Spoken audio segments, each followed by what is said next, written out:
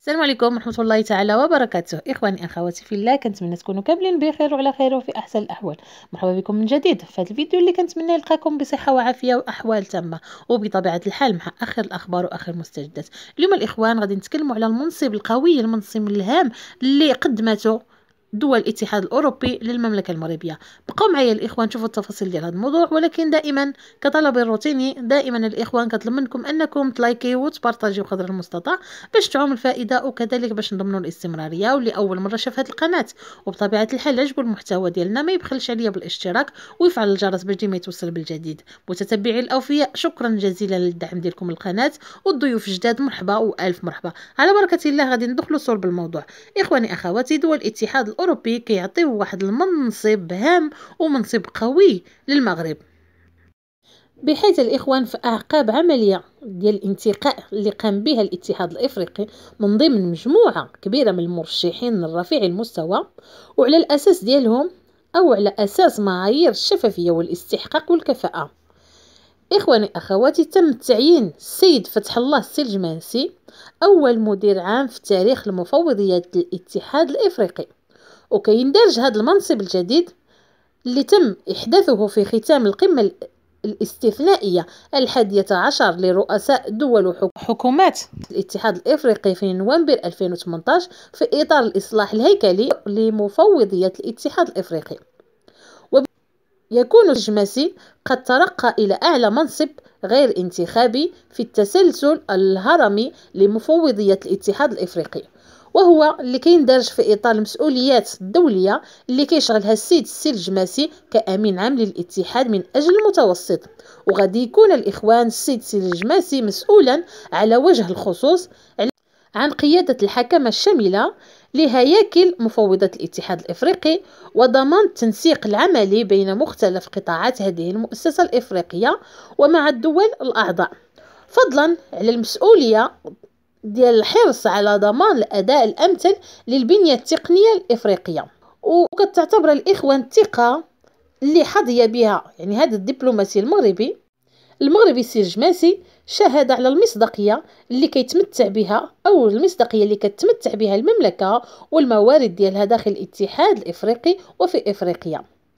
وكما تأتي في سياق يتسم بالالتزام المتواصل متواصل للمغرب منذ عودته إلى الاتحاد الإفريقي في يناير 2017 من أجل تنفيذ الإصلاح الشامل للاتحاد الإفريقي وإرساء حكامة إدارية جيدة ومالية داخل هذه المؤسسة. بحيث السيد السجلماسي تقلد وهو صاحب مسار دبلوماسي حافل عدة مناصب وطنية ودولية رفيعة المستوى فإلى الجانب توليه منصب الأمين العام للاتحاد من أجل المتوسط شغل السيد السجلماسي على الخصوص منصب سفير جلالة الملك في باريس وبروكسل. إخواني أخواتي هانئا للمملكة المغربية بهذا المنصب هانئا للمملكة المغربية بالإنجازات والتطورات والشراكات كذلك والتطور العملاق. اللي رجعوا الدول يعني كيضربوا ألف حساب وحساب الدولة أو للمملكة المغربية. تحية للدبلوماسية المغربية تحية لجلالة الملك محمد السادس نصره الله. إخواني أخواتي غادي ننتقلوا المشروع ديال المملكة المغربية مع بريطانيا.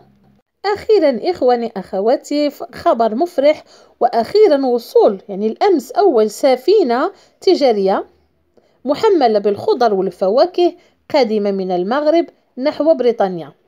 إخواني أخواتي تحية للدبلوماسية المغربية مزيدا من الشراكات مع الدول العظمى مزيدا من الشراكات مع دول قوية وهنا إخواني أخواتي استقبلت بريطانيا أول سفن التجارية القادمة من المغرب المحملة بكميات كبيرة من الخضر والفواكه التي تحمل عبارة مودين مروكو. تحية كذلك المملكة المغربية. سفينة الشحن المغربية وصلت لميناء بول بعد أن قطعت مسار بحريا مباشرا استغرق ثلاثة أيام بعد أن كان الوصول يقتضي انتظار ستة أيام حين كانت بريطانيا تابعة للاتحاد الأوروبي. إخواني أخواتي هنيئا لنا بهذه الإنجازات هنيئا للمملكة المغربية كذلك بهذه الشراكات وأخيرا الخضر والفواكه. كيوصلوا لبريطانيا في واحد المدة ما استغرقتش حتى ثلاثة أيام.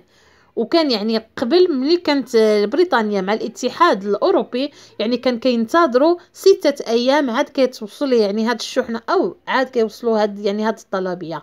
هنا إخواني أخواتي هنيئا لبريطانيا بالخضر الطازجه بالفواكه الطازجة ديال المملكة المغربية ولا عزاء للحاقدين. تحية لكم كبيرة تحية للمغاربة والمغربيات.